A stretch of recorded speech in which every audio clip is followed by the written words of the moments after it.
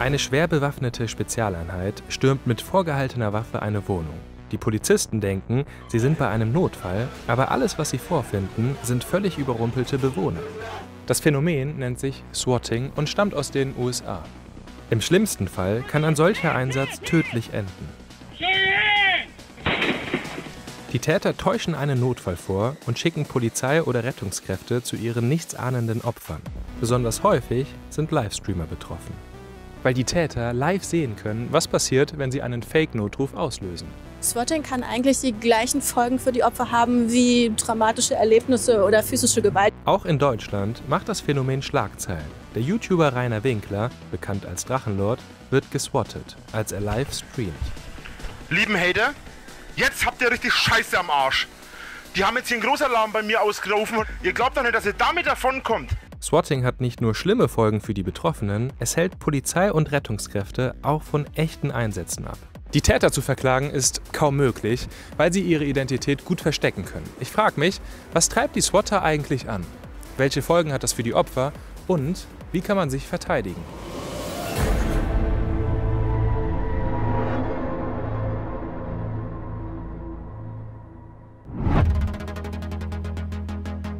In einem kleinen fränkischen Dorf mit gerade mal 40 Einwohnern kommt es zum wohl spektakulärsten Fall Deutschlands. Der Betroffene, Rainer Winkler, bekannt unter dem Namen seines YouTube-Kanals Drachenlord. Metal Leute, Servus und herzlich willkommen beim Drachen. Winkler wird schnell zum Ziel von Cybermobbing. Eine immer größere Zahl von Hatern und Antifans kommentiert jede seiner Äußerungen und beleidigt ihn. Es gibt unzählige Memes, Videos und tausende Kommentare, mit denen sich diese Community über Winkler lustig macht.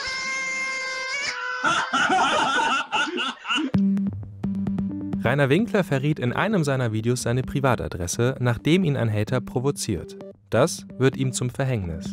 Am 15. Juli 2015 streamt er live auf der Plattform YouNow. Ein paar tausend Menschen schauen zu. Kurz nach 23 Uhr hört Winkler Feuerwehrsirenen, direkt vor seinem Haus.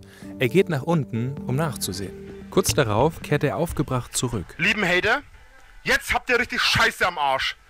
Die haben jetzt hier einen Großalarm bei mir ausgerufen von wegen Brand und so weiter. Ihr glaubt doch nicht, dass ihr damit davonkommt. Alter, dieses Mal habt ihr echt zu viel Scheiße gebaut.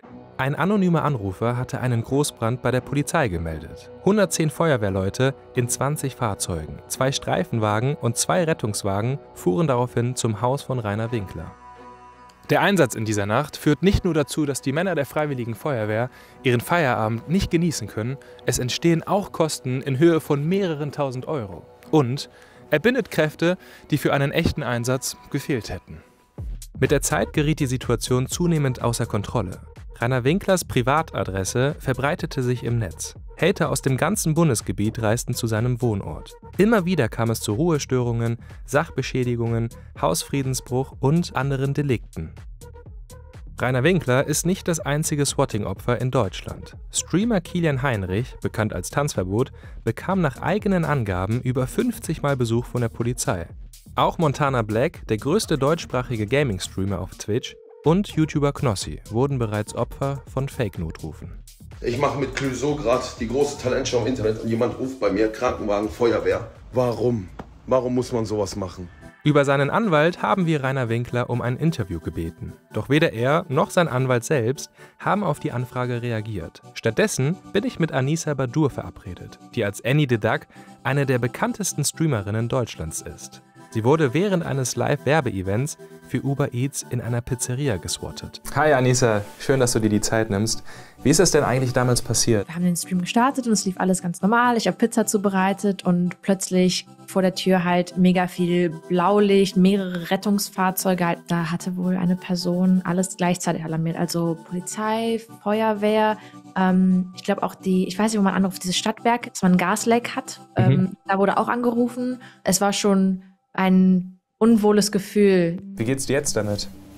Hast du Ängste oder? Also bei mir jetzt nicht, dadurch, dass das halt in einem öffentlichen Rahmen war und nicht bei mir zu Hause. Ich kann mir vorstellen, wenn das in irgendwie den Privatgemächern passiert, dass plötzlich du gestürmt wirst, das natürlich einen ganz anderen Impact hat. Ja. Hast du denn von anderen Streamern mitbekommen, dass denen das auch schon mal passiert ist? Boah, ich habe schon echt viel von sowas gehört, auch von Kollegen, ja? Freunden. Ich will jetzt ungern in deren Namen jetzt irgendwelche Geschichten auspacken, aber ähm, von, keine Ahnung, dann Helikopter da gewesen zu Hause, zu Leute haben die Wohnungen gestürmt, also sehr, sehr viele Sachen zu ähm, Leuten, dass sie halt umziehen mussten, weil ähm, so oft Leute klingeln waren oder auch einfach nur so aus Scherz irgendwelche Sachen bestellt worden sind. Für Annie war das Swatting unangenehm, aber sie hat gelernt, damit umzugehen. Der Begriff Swatting kommt aus den USA und leitet sich vom Begriff SWAT ab, der Abkürzung für Special Weapons and Tactics, also den Polizeispezialeinheiten, die in den USA dafür zuständig sind, Wohnungen zum Beispiel bei Geiselnahmen zu stürmen. Streng genommen liegt Swatting also nur dann vor, wenn durch den Fake-Notruf eine Spezialeinheit der Polizei zum Einsatz kommt. In Deutschland werden diese Aufgaben von den Spezialeinsatzkommandos des SEK wahrgenommen. Anders als in Deutschland rückt die Polizei in den USA bei Swatting-Einsätzen häufig mit gezogener Waffe an. 2018 wurde der 28-jährige Familienvater Andrew Finch nach einem Fake-Notruf durch die Polizei erschossen. Der Tod von Andrew Finch ist ein Einzelfall, aber Swatting ist für die Opfer auch eine große psychische Belastung. In Köln treffe ich mich mit Josephine Schmidt. Sie weiß um die Folgen für die Betroffenen. Swatting kann eigentlich die gleichen Folgen für die Opfer haben wie dramatische Erlebnisse oder physische Gewalt. Also letztlich kann das ja ein sehr dramatisches Erlebnis sein, wenn plötzlich eine Polizeihundertschaft vor der Tür steht und durch die Wohnung reinrennt. Und warum wurde gerade Rainer Winkler zum Ziel für, für Swatter? Die Gründe, warum Leute das machen, die sind ja unterschiedlich. Also es kann einerseits daran liegen, dass sie das irgendwie Macht ausüben wollen, also ähm, und Spaß daran haben, Macht auszuüben. Und wenn man jemand ist oder jemandem begegnet wie Rainer Winkler, der ja auch noch sich extrem darüber aufregt, dann gibt es den Personen, die es machen, auch noch mal so einen, so einen letzten Kick. Die Ermittlungen, die zum Swatter von Rainer Winkler führten, wurden von der Zentralstelle Cybercrime in Bamberg geleitet. Dem Einsatz der Behörde ist es zu verdanken, dass der Täter als bislang erster und einziger Swatter in Deutschland verurteilt wurde. Alexander S. war zum Zeitpunkt der Taten Anfang Mitte 20, äh, hat in Norddeutschland äh, noch bei den Eltern gelebt, äh, keinen Schulabschluss äh, vorzuweisen gehabt, ist keiner beruflichen Tätigkeit nachgegangen, war viel im Internet unterwegs, auf legalen und illegalen Foren, äh, wie zum Beispiel Crime Network und wie ist der Täter beim Swatting dann genau vorgegangen? Äh, ganz wesentlicher Baustein äh, für Alexander S. war natürlich, zumindest mal für den Bereich seiner Swatting-Anrufe, äh, die gehackten Zugänge zu Routern, um, um fremder Leute Festnetznummern nutzen zu können.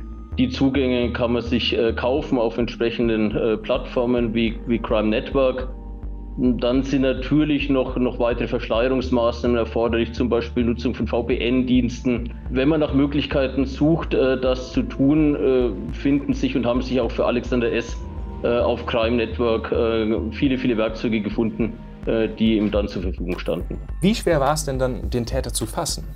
Wenn die Technik ständig fehlerfrei eingesetzt wird, um das eigene Agieren im Internet äh, zu verschleiern, dann ist es für uns Ermittler außerordentlich schwierig. Was uns aber damals äh, ganz enorm äh, geholfen hat, der Täter war arg mitteilungsbedürftig ähm, auf den Foren und auf den Boards, auf denen er unterwegs war äh, und hat genug Informationen hinterlassen, äh, dass es in akribischer Auswertung möglich war, die Puzzleteile zusammenzufügen. Swatting ist in Deutschland kein eigener Straftatbestand, sondern wird als Missbrauch von Notrufen erfasst. Mehrere tausend Mal rücken Polizei und Rettungskräfte pro Jahr zu Fake-Notrufen aus. Aber nicht in allen Fällen handelt es sich auch um Swatting. Denn ein Missbrauch von Notrufen liegt zum Beispiel auch dann vor, wenn eine Person einen Feuermelder auslöst. Ich möchte gerne wissen, was Alexander S. zu seinen Taten bewegt hat. Auf eine Interviewanfrage, die wir über seinen Anwalt stellen, reagiert er nicht. Sein Anwalt will aber mit uns sprechen.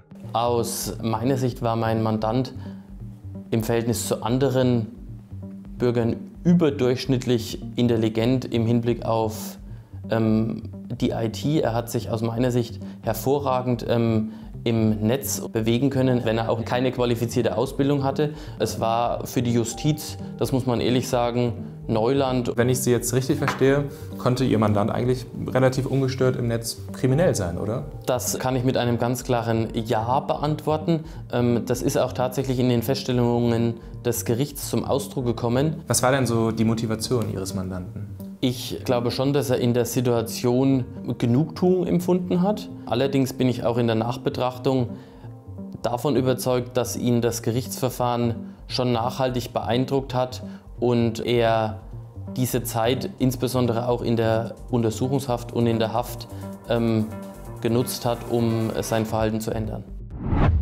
Im November 2016 wird Alexander S. am Landgericht Nürnberg angeklagt. Neben dem missbräuchlichen Notruf, der zum Großeinsatz der Feuerwehr bei Rainer Winkler führte, werden ihm zahlreiche andere Straftaten zur Last gelegt. Es waren Internetbetrügereien mit, mit ganz klassisch monetärem Interesse, das waren die Swatting-Aktivitäten, das war ein DDoS-Angriff, da waren Gewaltdarstellungen mit dabei, da war Kinderpornografie mit dabei. Da waren diverse Trollaktionen mit dabei. Und welche weiteren Straftaten hat er dann zum Nachteil von Rainer Winkler begangen? Es ist äh, versucht worden, mit äh, einer Überlast auch eine Internetpräsenz, äh, die der Drachenlord seinerzeit hatte, lahmzulegen. Äh, es gab ähm, Warenbestellungen äh, auf, auf den Namen äh, des, des Drachenlords. Also waren Sextoys waren da dabei.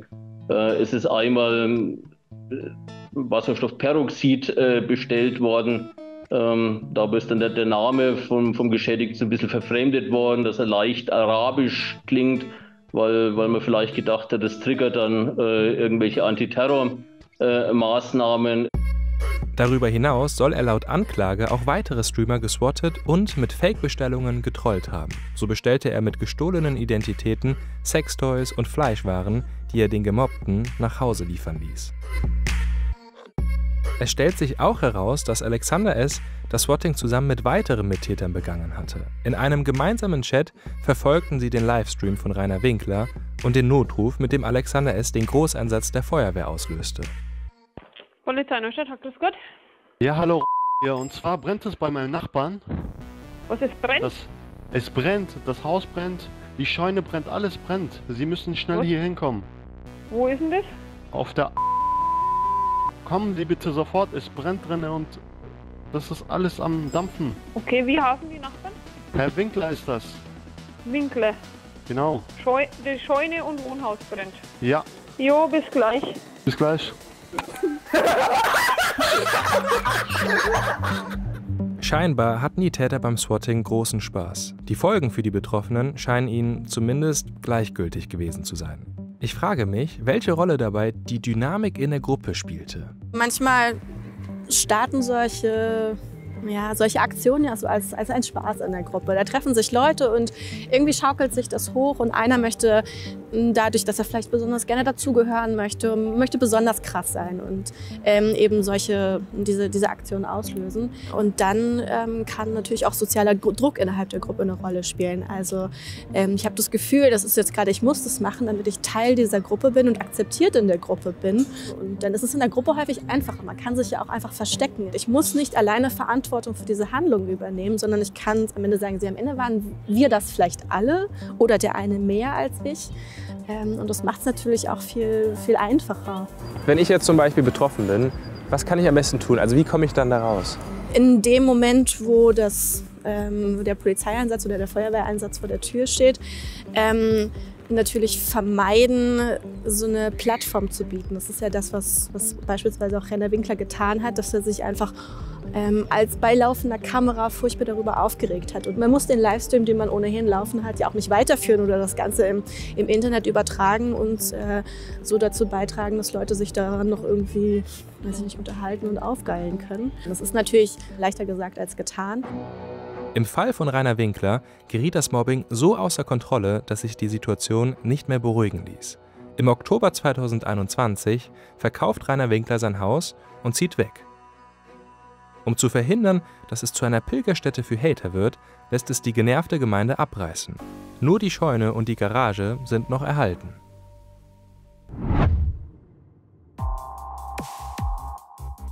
Am 25. Januar 2017 wird Alexander S. vom Landgericht Nürnberg-Fürth verurteilt. Das Gericht stellt beim Angeklagten eine hohe kriminelle Energie fest. Strafmildernd wirkt sich aus, dass er bei der Aufklärung mitwirkte und die Identität seiner Mittäter preisgab. Strafschärfend wirkte sich unter anderem aus, dass der Missbrauch des Notrufes zu einem erheblichen Personen- und Fahrzeugeinsatz der Rettungskräfte führte. Alexander S. wurde für alle seine Straftaten zu drei Jahren und fünf Monaten Haft verurteilt.